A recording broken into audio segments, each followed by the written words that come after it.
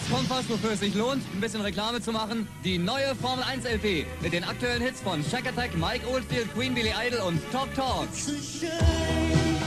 Limal. Depeche Mode. Tina Turner. Bronski Beat. 20 Hits auf einer Platte, das sind vier Titel mehr als früher. Formel 1, aktueller geht's wirklich nicht.